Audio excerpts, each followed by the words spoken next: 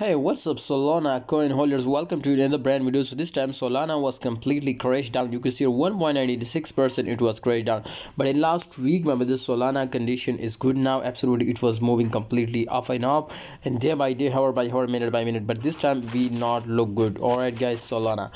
So you can see here the volume 4.87% it was also increasing now. How much possibilities to Solana was pumps up more and how much confirmed my business it was crashed down more. Alright guys, it was already break my friend the resistance line so this is very risky. All right guys.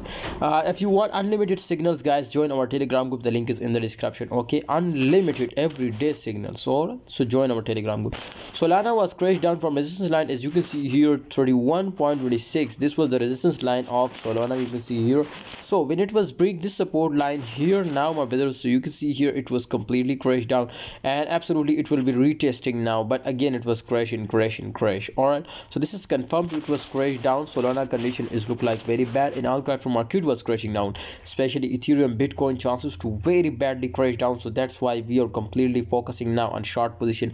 We are my friends uh, completely 100 percent focus on short position and 100 percent we know it was crash down more. Thanks for watching guys. See you next time. Hope you enjoy this video. Please like subscribe and press the bell icon for videos notification